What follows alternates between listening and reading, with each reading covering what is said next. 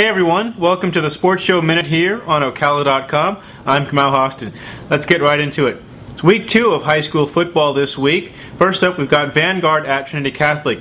Now, Vanguard's current coach, Alex Castaneda, was an assistant last year at Trinity Catholic uh, on that team's run to the state championship game. Now, he headed the Vanguard Knights, who won their first game home uh, against Westport last week. Now, the Knights. Um, had some difficulty halftime. Trinity took a 17-3 halftime lead, but Vanguard battled back 17-16 uh, in the third quarter. But Trinity Catholic ended up pulling away 44 to 23 in that win. Let's take a look at some of those highlights.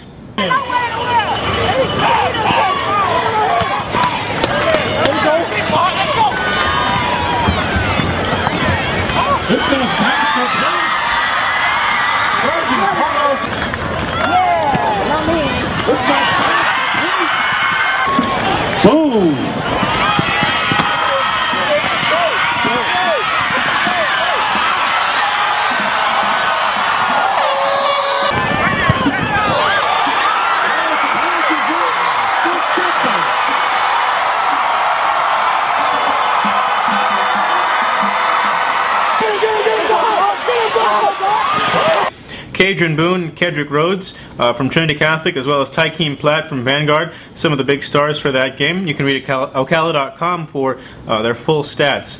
Uh, another game we were at tonight was Lake Weir at Belleview in the battle for the Southeast supremacy.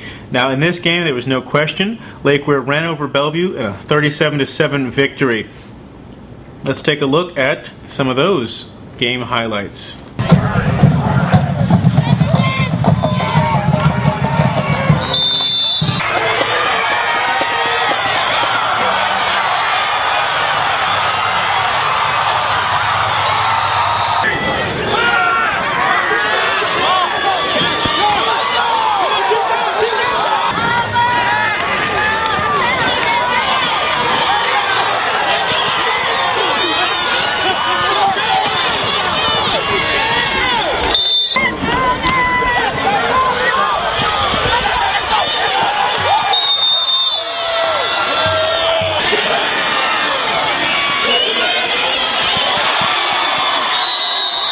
All right, now with that win, Lake Weir goes up 2 0 on the season, while Belleview drops to 0 2. Trinity Catholic and Vanguard are both 1 and 1.